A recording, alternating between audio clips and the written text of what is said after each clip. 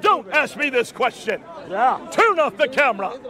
We don't talk about this in public. Why not? Can you see why he knows nothing about this? Because his scholars don't. Can you see the man behind him knows nothing about Because this? scholars know nothing about it. Because they never heard this. You've never heard this before, have you? I'm getting weighted down with all these microphones. As all Muslim, we have this Quran, we read this Quran. Say All again. of us, we use this one. No, not all of you. Then what about this one? all of you. Mark, Okay, we're gonna get to that. This one has a three or four letters di- di- di- different because it's different reading. How about 5,000? How about 5,000 letters different? You don't know. You don't even know where this guy was.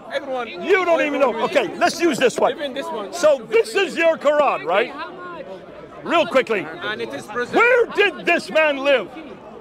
Muhammad. No, Hafs. I don't care about Hafs. This one. He just got, he just got done Hafs. said, this is our Quran, All right, God says- which is true. This is the Quran that you use today. Yes. It's the Hafs Quran.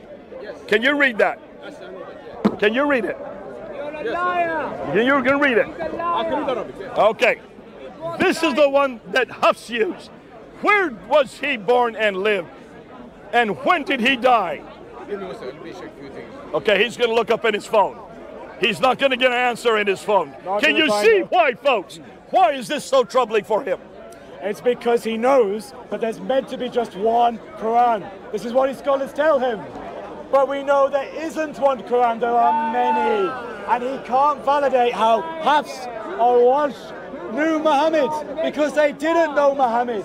They were born a hundred or so years later. So four years ago yesterday, Yasir Qadhi says, put away the camera. Put away the Do not film me. We don't talk about this in public. Why not? That's why this man's never heard this argument before. Exactly, He knew nothing about this. What did he say next? What did he say about Al Jazari and about the last thousand years? Al Jazari, the greatest scholar on the Qiraat Ah, and the Al-Jazari. Ahruf. This is called Qiraat. Do you know what we're talking about? Qiraat. The readings. There are different readings of the Quran, different Arabic Qurans in a practical sense. But Muslims aren't told this. They are lied to. They, I can show you, my friend. proof. I will bring you proof. I will bring you and I will show the crowd the different translations in Arabic. I will show you. Now listen to me carefully. I have never seen it in my life. Listen- Other- listen other to me carefully. Listen to me carefully. never seen it. Listen to me carefully. There were scholarly opinions that changed throughout time about what different Qurans were acceptable and what Qurans were not acceptable. For example, Al-Jazari, in the 15th century, he changed the amount of Qurans that Muslims are permitted to use in masjids from seven to ten. He increased them in the 15th century. How is that possible, Muslims? Did you not know what the Quran was? Evidently not. Okay, here we go. So it was seven by Ibn Mujahid in 936. Yes. Now we're in, let's go to the 12th century first. Let's go to Al Shatibi. Yeah. Al Shatibi, because there was a problem with the seven. yes. What was missing amongst the seven? The seven were in, doubt about exactly which variant of those seven is the correct one. For example, This is not there. this ain't there. This is not in those This ain't seven. there. This is the. Quran he loves the most. So you would have had Asim This is the Quran, as Yeah. you say, is And the one everybody there. uses. It wasn't But it's there. not in the seven, is it? It's not, no.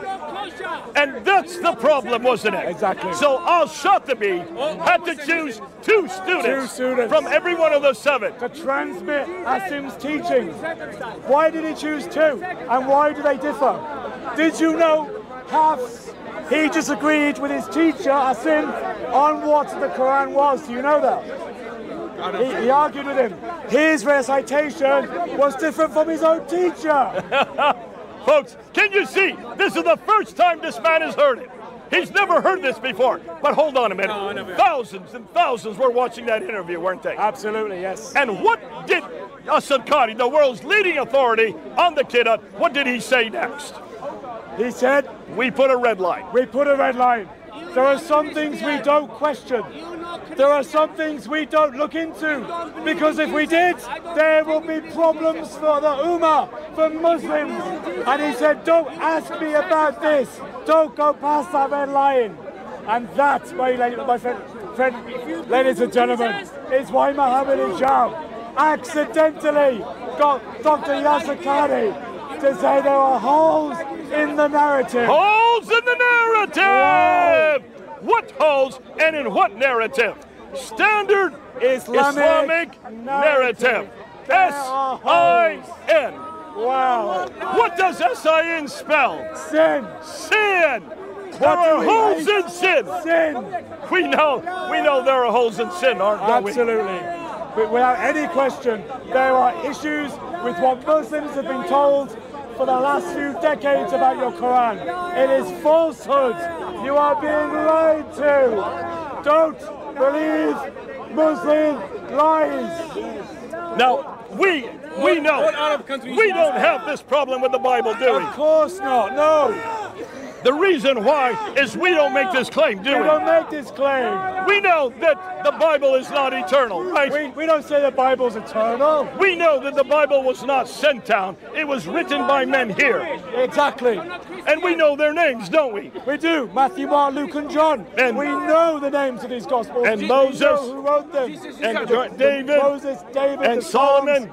We know these things. So we would not make that claim, right? We would not. What claim? We know that at one time they were all complete. Am I correct? Correct. And we know that there have been changes here and there. There have been variants because variants are normal when you have copyists. We In the New this. Testament, about 40 of them. Yeah. Okay? So if this is the case, out of 6,000 verses, there are 40 that are in doubt. Yeah. Now, let me ask you. So we would never make these claims about the Quran that he's made today. We would never make this at all. But is the Bible the only word of God? Absolutely. No, it isn't. There's another word of God. Well, what's that? Oh, Jesus! You forgot about Jesus. Ah. Oh, Isn't Jesus the Logos? he is in John 1. And isn't that the Word of God? Absolutely. And isn't Jesus the eternal Word of God? He is, So, yes. number one, He is eternal, right? Yes, he is. Wasn't Jesus sent down? He was sent down. So, number two, He was sent down. Isn't Jesus complete? he is complete. So, yes. number three, He answers that one. Yeah. And has Jesus never changed? he has never changed. He has never changed. Jesus is what they are looking for. Exactly. Jesus is the answer to their problems. Reject Islam. It is falsehood. Embrace the Lord Jesus Christ and come to Him, the one who loved you before you were born. This is not the eternal Word of God, No. but Jesus is the But eternal Word of God. is. He is our Word of God. Amen. Who is the King of Kings? Jesus! Who is the Lord of Lords? Jesus! Who is God in heaven? Jesus! Who is God on earth? Jesus! Who died on the cross? Jesus! Who then rose again? Jesus! Who is now in heaven? Jesus! Who waits for you and me? Jesus! Who wants to bring you home? Jesus! What's his name? Jesus! What's his name? Jesus! Can you you? Jesus! Jesus! Let's give him a hand. Thanks so much. God bless you.